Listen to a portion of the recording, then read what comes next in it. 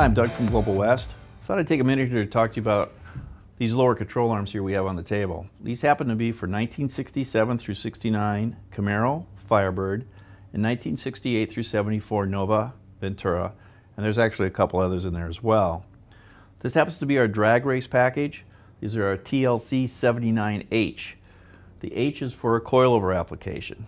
Let me show you the differences here between a stock lower control arm and these in a coilover app. Here we have a stock lower control arm. I'm going to tilt it up here for you. And this is normally where the shock goes right here, and of course the spring pocket is right here. Well, when you do a coilover application, I happen to have one here, you're going to be mounting the shock on top of the lower control arm. So it's going to go in this particular area right here. It bolts directly to where the shock is. Okay? Well, in a drag race environment, what we want to do is there's a potential of wheel stands or what have you, all right? And so what we want to do is beef that lower control arm up a little bit. That's why we go to a tubular arm. We put a special bump stop on it. And what we're also going to do is we're going to add a doubler system to where this shock mounts. So if you notice on here on our control arm, we've got this plate that comes through here, but we also got a doubler in here as well and that's the support where the shock is. Because the shock, this, this particular shock now has got the spring that goes to it, so all the load is going right through the center point. Where on a stock control arm, right here, the spring is all the way to the outside, out here, and the shock is just dampening the spring. Here, everything is going right through these points, so you understand now why we want to run a doubler through here. This particular control arm also features a special bushing we use for drag racing only. It allows this control arm, and once you bolt this on the frame, torque it to 70 foot-pounds, this arm will literally fall.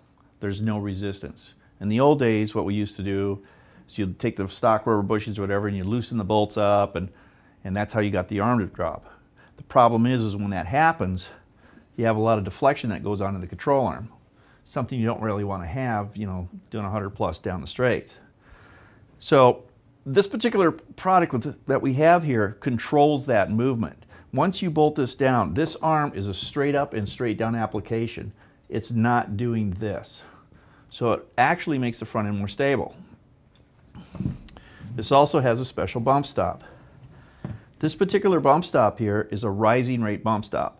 So instead of having something come down, like if you do a wheel stand, you come down and you hit the frame with your bump stop, you get this really hard impact.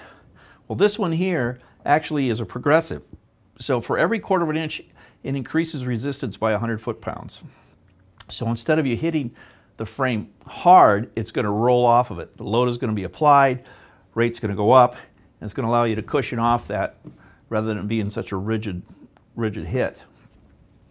And of course, being a tubular arm, it's going to be able to withstand that a lot better than it is going to be a stamped in reference to the wheel stands and bottoming out. Another feature we have here, you'll notice another hole right here. Certain frames on these particular vehicles, the bump stop moves from either the front of the control arm to the back. Depends on what frame you have. So we have provisions in the control arm. So when we ship it, let's say the bump stop where we on your particular frame is in the opposite position, all you do is unscrew this, put it to the other side, and you're back in business. Ball joints are included. It comes assembled, ready to go. It's an easy bolt-on. It's designed specifically for a coilover, and everybody's coilovers fit that runs a T-bar. Doesn't matter what brand it is. Drops right in. Part number, TLC 79H. If you're running a drag car, running coilover, this is something you should consider.